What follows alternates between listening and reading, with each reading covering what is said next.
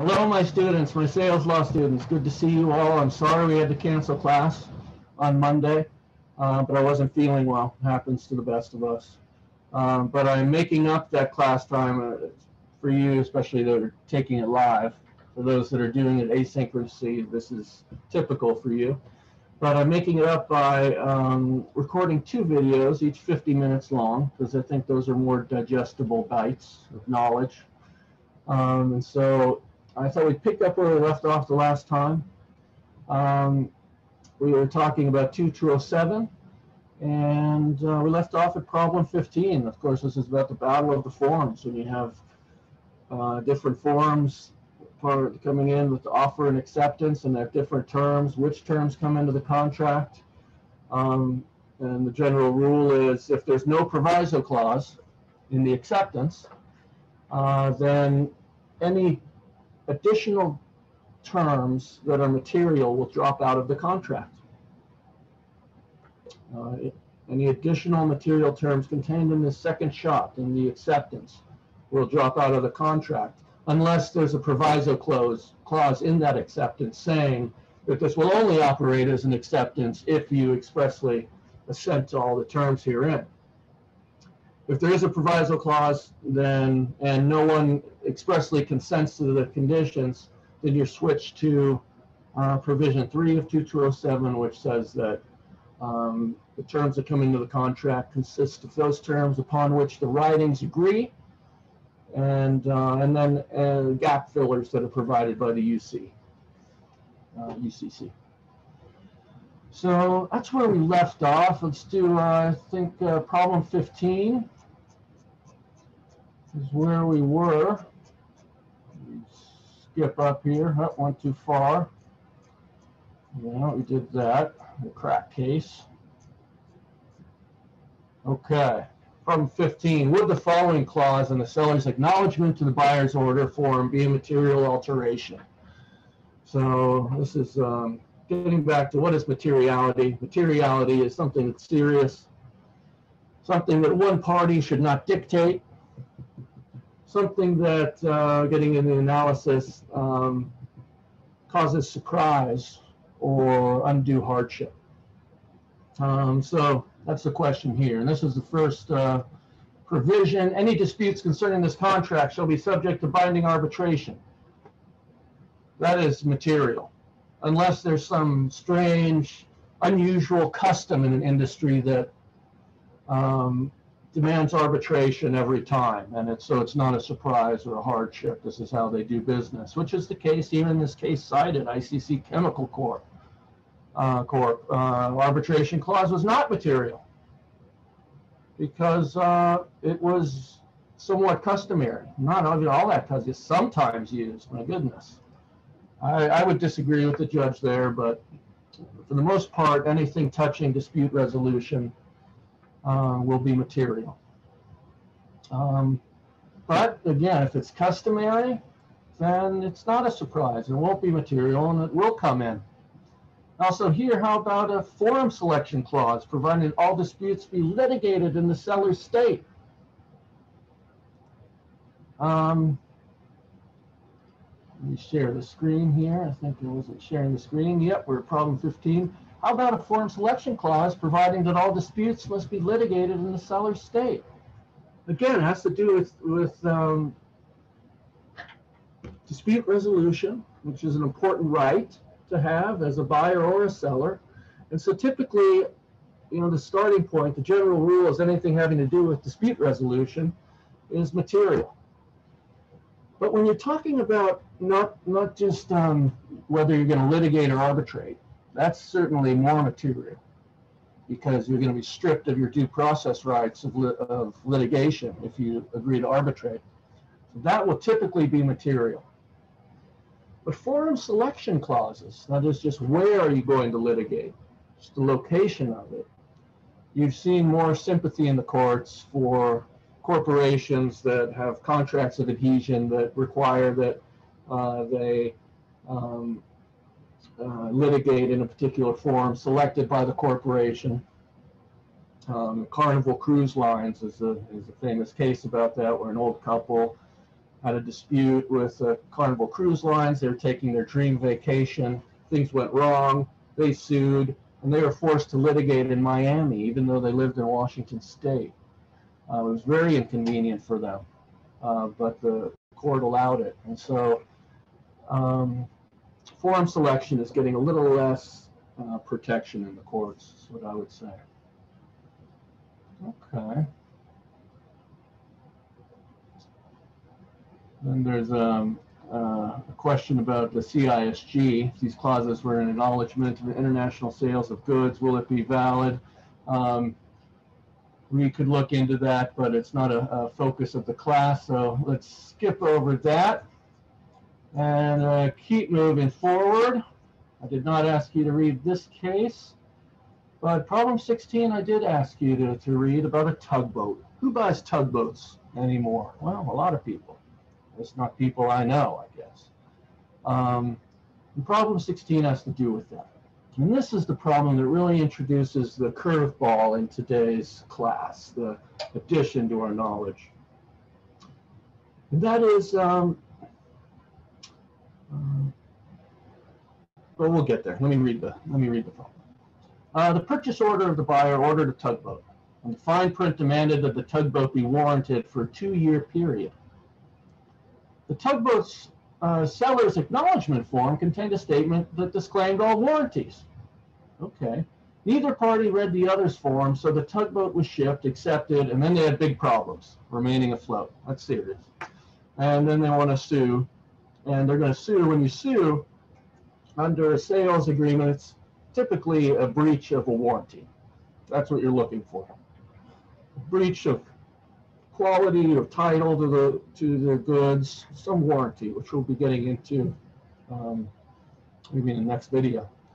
Um, but the issue here, there were two forms exchanged, but there there wasn't a an additional term.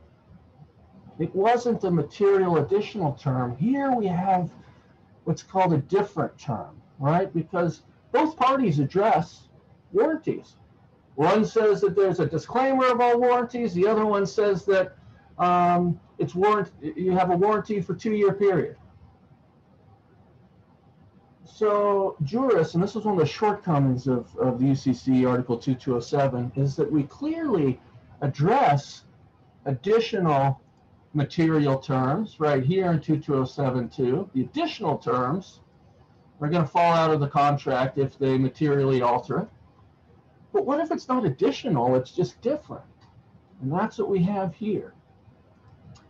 And the, the law um, has been largely settled. We have a solution to this, and I asked you to read the, the next case that was written by the great intellectual economist, Judge Posner, uh, appeals uh, court judge, but also a, a law professor um, Northrop Corporation versus Litronic Industries. In this case, uh, is the is beautifully written, typical of Posner, uh, very clear analysis, and it comes it, it resolves itself in this solution, that the additional different terms knock each other out. So in this case, we have uh, these two different terms regarding the warranty. Boom, they knock each other out. Because if the parties haven't agreed on something that's serious, why should one party be able to dictate to the other party? It's um, it's not fair. And uh, and so if you have two different provisions, they knock each other out. What does that mean? Well, then they'll just be the the uh, as we'll soon learn when we discuss uh, warranties. Then the warranties will come into the contract automatically. They come in unless they're disclaimed. So if your disclaimers gets knocked out, then you're going to be subject to the warranties. Uh, so that was the issue here. And uh, so the answer would be, if I had to advise the client whether the contract includes a warranty, uh, yes, it does. It's a warranty that's going to be supplied by law because these provisions knock each other out. And so let's pick apart now. I want to dissect this somewhat complicated fact pattern in Northrop uh, versus Litronic. And um, uh, excuse me. And uh, then we'll get, I think, a clearer understanding of the problem here. Uh, so now let's get back to this famous case, Northrop Corporation versus Litronic Industries. Uh, the U.S. Court of Appeals for Seventh Circuit, 1994. And this is an important case because it clarifies this in, in what Posner says was a mistake in the drafting. He actually says, and I'll pull up the case in a second, we'll look at it. He says there was a mistake in the drafting.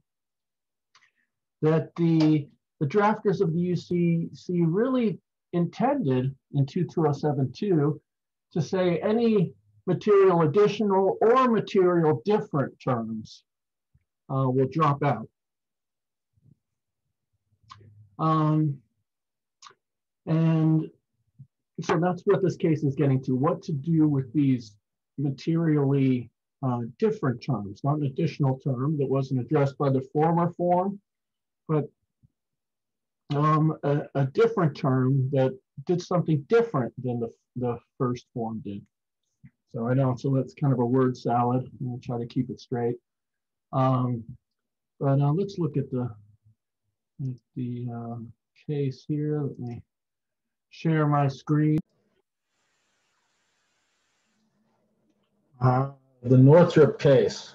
Northrop Corporation, now known as Northrop Grumman, one of the great defense industry corporations, part of the industrial military complex of the, of the United States.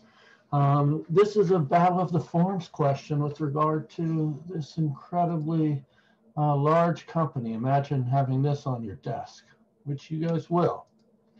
Um, so the Northrop Corporation uh, wanted to purchase some some motherboards, some electronic motherboards for some weaponry.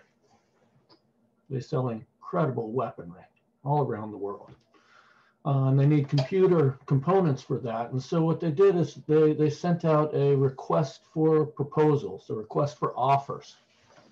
And you'll hear of that all the time with the government or with large corporations. They have a big project. They say, "Hey, tell us um, how much you can do for you can uh, do this for." And so then you get the response. You get the offers from the suppliers. And that's what happened here. And so the request for offers has no legal significance. It's not considered an offer. It's just saying, "Hey, give us an offer, and then maybe we'll accept." Uh, and so that's what happens. And they send out these uh, offers to them. And then uh, Northrop Grumman sends out what purchase orders, right? So let me take a look at this. Uh, they send out purchase orders. Um, and so normally we think of purchase orders as the second or the first document, the first form that's sent out. Um, but in this case, it was the um, the offer to sell that was the first form. And the purchase order was the second form, which was served as the acceptance. Okay, so wrap your heads around that. Either side can make the first move. The buyer can offer to buy something, which is what happened, or offer the uh, seller can offer to sell something rather than the buyer sending a purchase order to purchase something.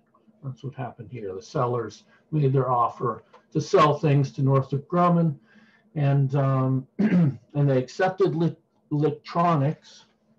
Let's see, I'm sure I get that right. Electronics Industries, uh, which was this electronics manufacturer, to sell them these motherboards. And things went badly.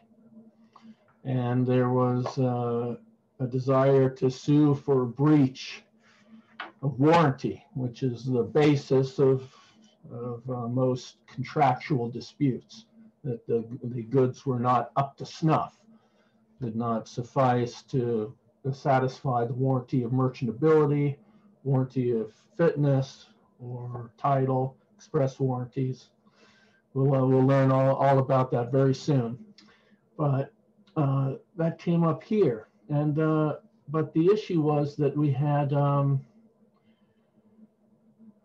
in the in the offer that was made right by the seller, Litronic to Northrop, uh, their offer contained uh, uh, an unlimited warranty.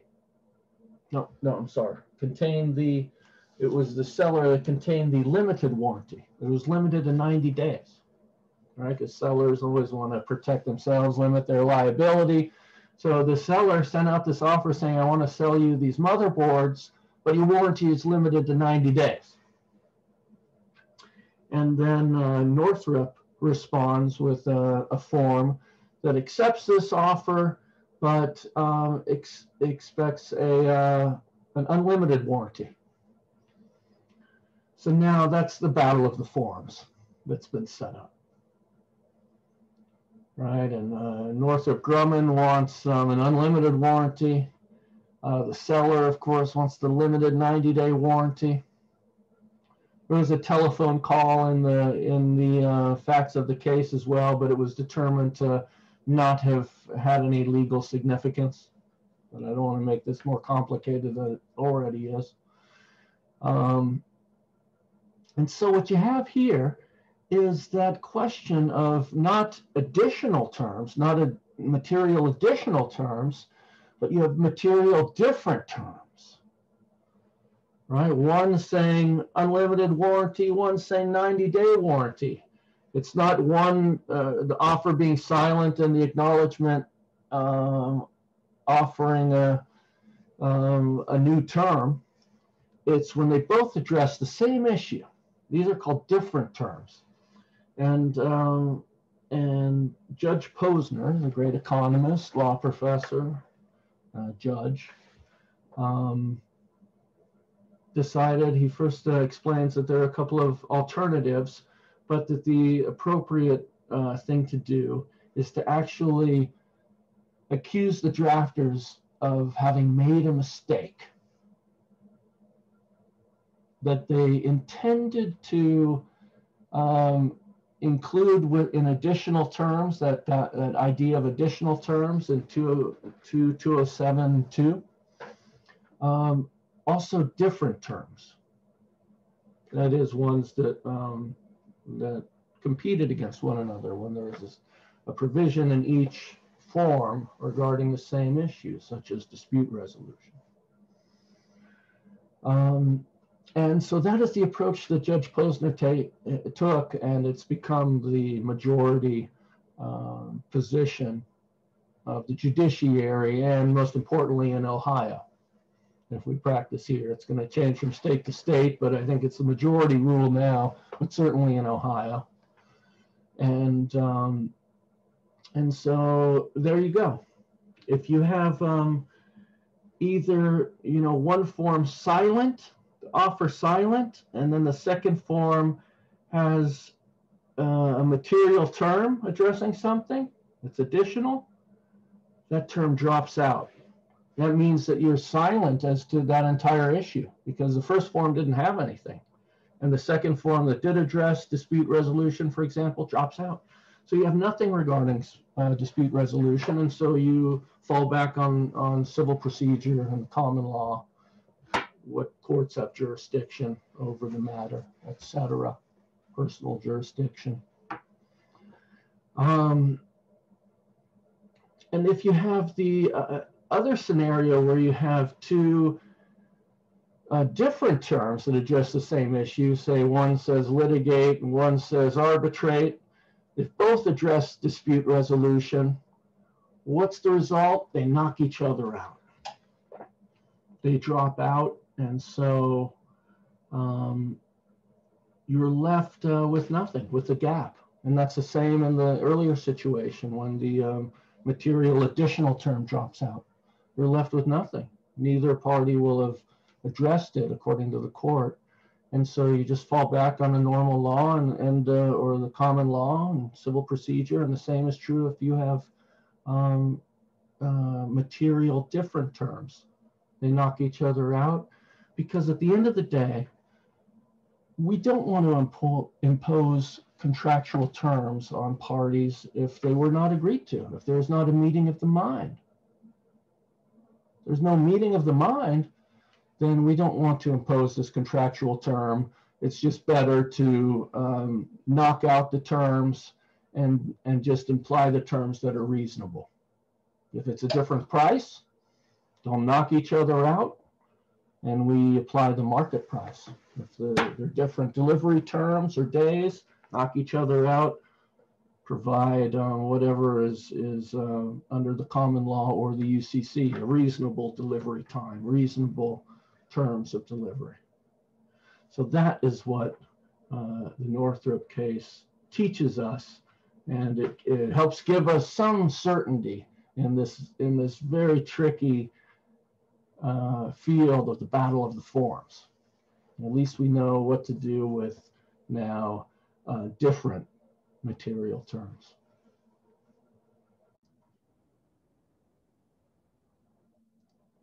Okay, we've got one more one more question to do in this assignment. Hold on a second. Just adjusting this. Hold on.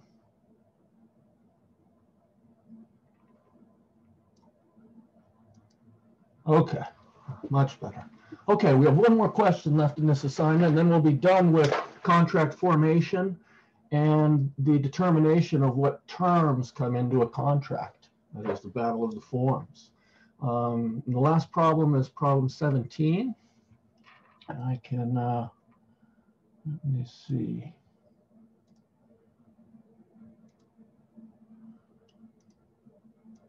Share my screen, share my screen. Like thus, thusly, and uh, we can look at this problem together. Problem 17. Um, all right, this will put a fine point on our understanding of the Battle of the Forms. On April 25th, Plastic Furniture Mart sent a purchase order for 100 tables to the Ersatz Manufacturing Company.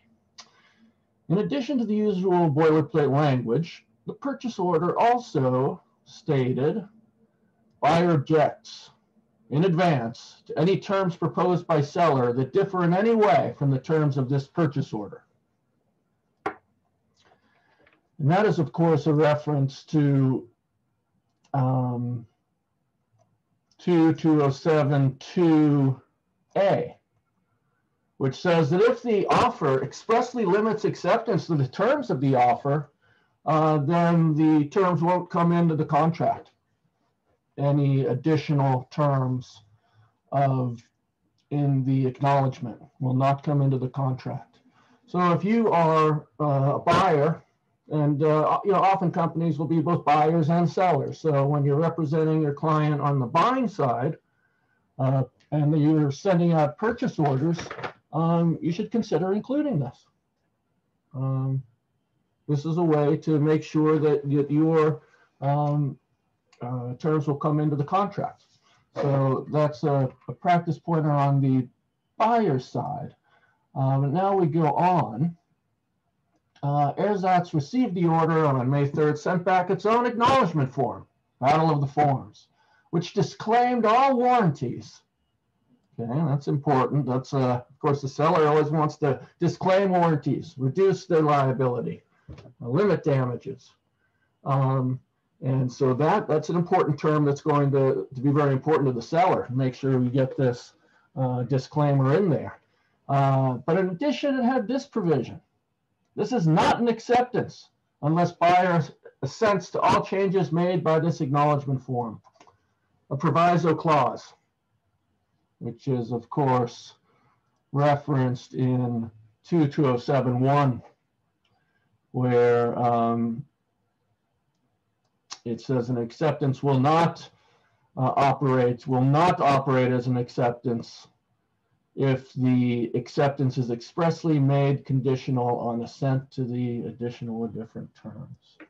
So that's something that you include in the acknowledgement forms. So that's when you, you are representing your client on the seller side and you're uh, drafting their acknowledgement forms. What do you put in there? Do you use a proviso clause? Well, it's an option to you, uh, for you, but who really came out on top here? Let's see. They, the, the uh, attorney here um, for the seller decided to include a proviso clause. So did that help their case at the end of the day?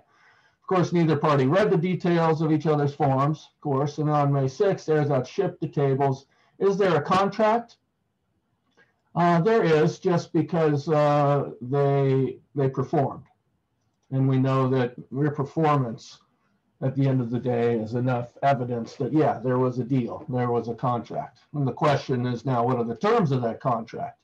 And uh, specifically, did Ersatz make a warranty as to the conditions of the tables? Now, did the seller here in other words, did it successfully get its disclaimer into the contract? Did its disclaimer come into the contract? That's the question. And uh, of course, the answer is, is uh, no. So, because they used a proviso clause and there wasn't any explicit consent to the different terms, which included the, the disclaimer. Um, and so we're shunted down to the to provision three of 2207, which means all the different terms drop out. You know, the terms of the agreement are only the terms on which the writings agree. So uh, the if there's they don't agree as to the warranty or disclaimer, and so all of that language drops out. And so there's a there's no there's no provisions addressing warranties. Um, but that means that the the uh, the warranty will come in because unless you successfully disclaim a warranty, like the warranty of merchantability, it will come in automatically. You have to, you know, the the automatic it's there's automatic consumer protection, the ability to disclaim it uh, for, by the seller, but you've got to do it properly and you got to make sure that your disclaimer comes into the contract. So it seems to give you a lot of power, this proviso clause. You're saying this will only operate as an acceptance if you assent to all the terms herein. Otherwise, it's a counteroffer, is the upshot.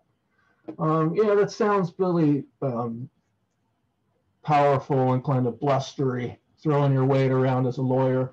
But at the end of the day, what, what your goal is as a lawyer is to get that disclaimer in there and so this didn't do the job. And uh, I'll just finish up this discussion by uh, asking you, I think we've touched on this before, what would do the job? What would you do as a, as a lawyer, knowing that this proviso clause isn't really going to protect you? You're not going to sleep well at night. Um, so what do you do to protect your client? and to give yourself the ability to sleep well at night. Well, you, you create some mechanism to get the explicit assent to the terms as the proviso clause uh, demands. You require that before the transaction moves forward, before this can operate as an acceptance, we need your signature here. And then we can go forward. And all of those terms will come in, all the seller's terms. But you need that extra assent.